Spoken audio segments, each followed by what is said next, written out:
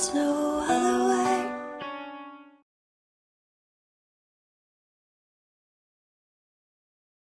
Before I tell you this, you have to commit to a vow of secrecy unlike any other.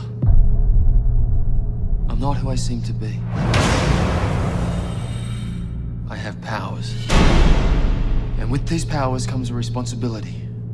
To fight. To protect. To uphold justice and defend the innocent.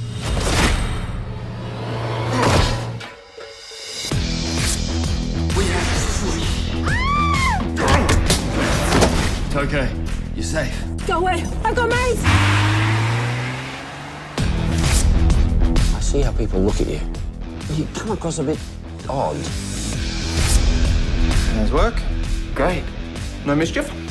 Gary, Griff's here. No mischief.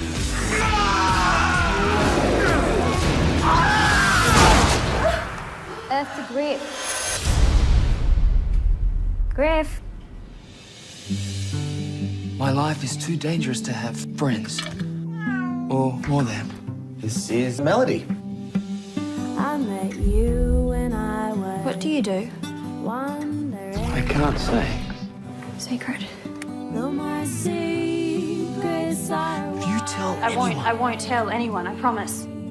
I like you, but nothing can happen between us. It's for your own safety.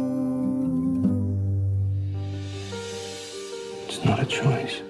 It's a responsibility. Are you on drugs? I don't understand, Melody. He's a 28 year old man and he's living in a fantasy world. Everybody has to grow up. I live in a bubble that no one gets into. You, Griff,